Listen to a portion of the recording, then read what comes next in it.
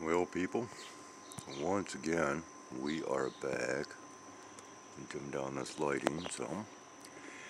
And, and not because there's anything special to be shown other than, um, yeah, we are getting some rather nifty looking uh, sunbeams, if you will, or light rays. Uh, that's kicking off. Might be easier to see them. I just go back to regular lighting here. I don't know. But I did notice them in my previous video. But the reason that I am coming back is because I just got done watching a very interesting video.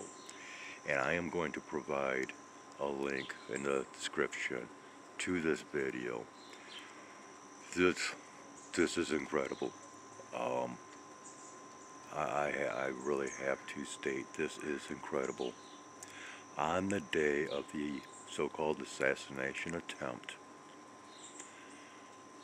on former President Donald J. Trump, there evidently was a UFO up overhead at the time.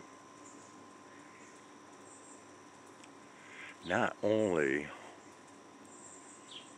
was there this soft saucer styled shaped craft looming overhead, but there was also, upon further investigation, mind you, there came about the appearance of several orbs. Now these orbs, according to the host of this other channel, um, basically popped in and out within frames. Whereas this object is zipped off. Quite a little bit difference there.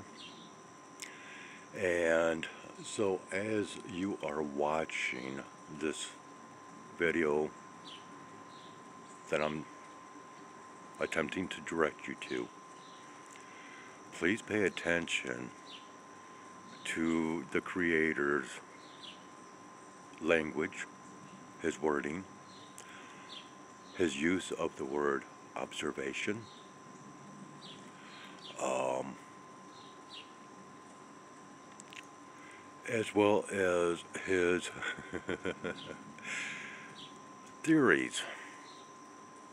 He's going to bring up the grays, okay?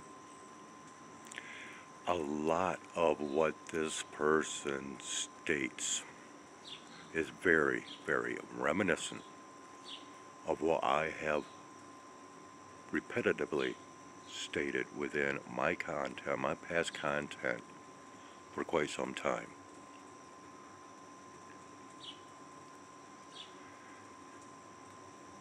I was very skeptical when I first started watching this video. But it drew me in and I felt the very strong desire and need to share.